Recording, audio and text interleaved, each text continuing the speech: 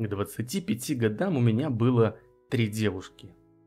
Я считаю только тех, с кем действительно серьезно встречался на протяжении года, а то и больше. В общем и целом, каждая из них была хорошей, но каждый раз что-то шло не так. С первой разошлись мирно. Просто вдруг осознали, что дышим разным воздухом. У второй иногда вырывалось, что бывший делал что-то иначе, чем я. Неприятно было, если честно. А третья так и вовсе ушла к бывшему после небольшой ссоры.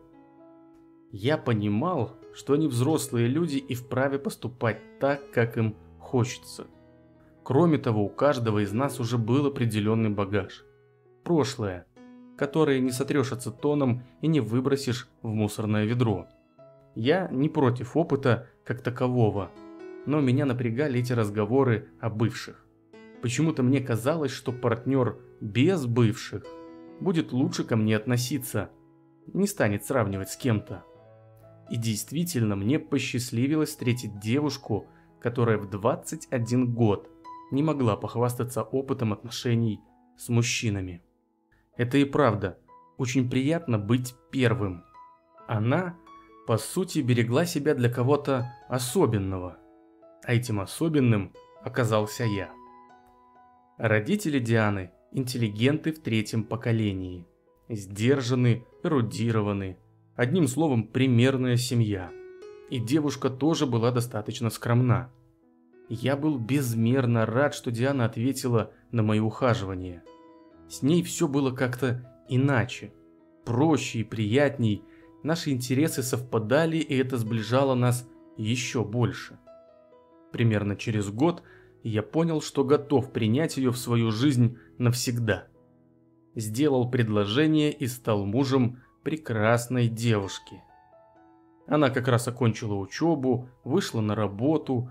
Женский коллектив – это то еще испытание для психики, а для человека, который привык все вопросы решать спокойно и взвешенно, и подавно. Первое время жена приходила с работы очень утомленной. Дашка снова замуж выходит, третий раз уже, а ей еще и 30 нет. Но говорит, что увидела этого своего нового и ни о чем больше думать не могла. Сбежала от мужа, только денежку прихватила, назвала это компенсацией за выполнение обязанностей жены. Знаешь, тебе нужно поменьше общаться с этой Дашкой. Я решил, что подобная личность может оказать плохое влияние на мою жену. Ну а с кем же общаться? Вон Аленка каждый день домой с работы на машине уезжает. У нее несколько ухажеров. Забирают ее по очереди. И как они только не встречаются, ну не пойму. Она четко контролирует, кто, когда и куда с ней идет. Ну прямо логистика, а не отношения. Зато на день рождения три подарка минимум. Я отметил, что последние слова Диана говорила с каким-то даже удовольствием или завистью? А есть кто-нибудь нормальный там у вас? Да, Таня. У нее только муж и любовник, и все. И даже разводиться не собирается. Что, и это для тебя нормально? Да при чем тут я? Для них нормально, значит нормально. Но серьезные женщины есть? Я спросил с надеждой. Да. Марина Дмитриевна, ей 54. Вот, вот с ней и дружи. Да ладно, не думай, что все так плохо.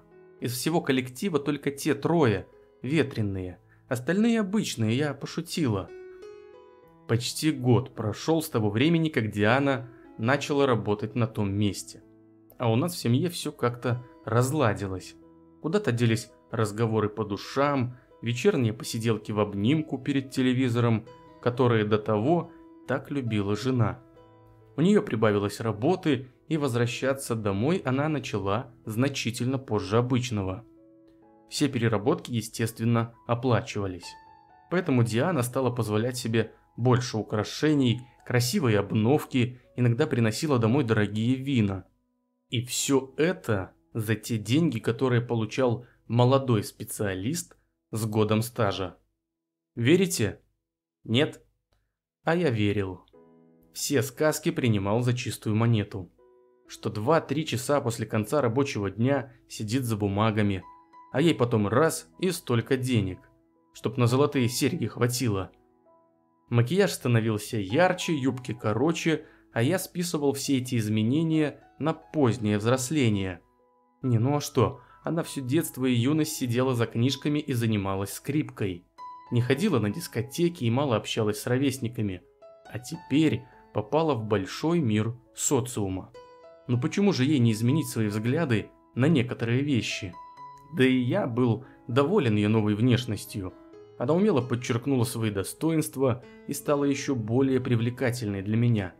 Хотя на тот момент она была бы для меня неотразима даже в пакете из супермаркета. Слепой от своей любви, я молча жевал то, что она клала мне в рот. Много работы, схожу с девчонками на кофе, начальник вызвал в субботу. Это звонок с работы в 10 вечера. Но вот когда она навела полный марафет и сказала, что переночует у мамы, я вдруг понял, что что-то не так. Зачем ночевать у мамы? Мы не ссорились, никто там не болен, Мать не уехала, чтоб нужно было поливать цветы или выгуливать этого храпящего мопса. Так зачем же ни с того ни с сего ночевать у мамы? Да еще и в полном макияже, с ресницами до бровей и новым маникюром. Я, конечно, очень огорчился, но сделал вид, что все в порядке. А как только за Дианой закрылась дверь, я сразу же набрал ее матери. Теща вообще ничего не знала и ничего не поняла. Ну как можно быть такой глупой? Если она не придет к матери в ближайший час, я просто разочаруюсь в ее умственных способностях. Накраситься, вылить на себя ведро духов и объявить, что идешь к матери. Действительно, скрывалась нехватка опыта в отношениях и вскрытии преступлений. Я позволил себе закурить прямо в комнате выпускал в потолок белые облака дыма и медленно свыкался с мыслью о том, что моя жена принадлежит не только мне. Да, я был счастлив, когда встретил ее, когда узнал, что она ждала именно меня. Но в тот момент я понимал, что уже не в первый раз она бежала кому-то другому. Сопоставляя факты, я вдруг понял, что уже давно запутался в ее лживых словах. И сам виноват в том, что она плетет мне сказки. Ведь я позволил себе поверить в регулярные задержки на предприятии, в работу по субботам и то, что она могла себе купить такие украшения. Я решил все проверить. По возможности отыскать чеки на драгоценности или их упаковки с указанием магазина, количество грамм и прочим. Я сел за письменный стол и открыл несколько ящиков. Среди набросанных бумаг надеялся найти хоть что-то. Потом захотел загуглить и посмотреть примерные цены. А когда включил компьютер, вспомнил, что могу легко зайти на ее страничку в социальных сетях. Все пароли были сохранены. И мои, и ее. Я включил сообщение и обомлел. Нашел несколько свежих диалогов. Два парня выглядели, ну, лет на 30, не больше. Один мужчина был значительно старше, около 55 я старался взять себя в руки и логично мыслить, но ощущение было паршивым. Колесико мышки скользило вверх, и я узнавал все больше нового. В тот день она договорилась о встрече с одним из юных кавалеров. Тот мужчина писал, что его жена в отъезде и квартира свободна на несколько дней. Диана ответила, что не вырвется дольше, чем на одну ночь, иначе будет подозрительно. Вот уж да, но нет у человека понятия, как нужно скрываться. Оно и хорошо, я как можно раньше узнал о ее настоящей личности, подлой и мерзкой. На утро ее ждали чемоданы в прихожей. Ты бы хоть мать предупредила, что ночуешь у нее. Или придумала что-то более реальное. Прости меня, я не хотела тебя обижать. Ты отличный, ты просто прекрасный муж. Но только представь, что чувствую я. Вокруг столько народа, столько развлечений, столько удовольствий. А я уже причалила и могу только смотреть издалека. И да, я поняла, сколько потеряла. когда сидела за книгами, когда гуляла с тобой за ручку, когда отказывалась знакомиться за чашечкой кофе. Я же молодая и красивая. Это когда-то закончится, и тогда уже я смогу стать такой женой, о которой мечтают мужчины. А сейчас я хочу быть той женщиной, которую желают мужчины. Прости меня, если сможешь, но у меня есть много возможностей и поводов для удовольствия. Позволь же мне его получить. Я молча слушал и кивал. Порой мне казалось, что я уснул в кинотеатре и пропустил самую важную часть фильма. Фильма про свою судьбу. Диана ушла.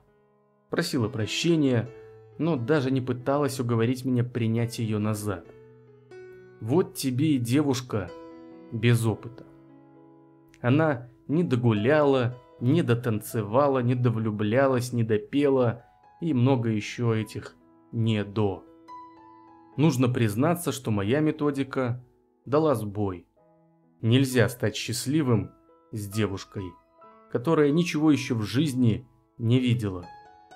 Я надеюсь, что когда-нибудь смогу открыть свое сердце кому-нибудь снова. Это будет очень опытная, целеустремленная женщина, которая точно знает цену простому и тихому семейному счастью.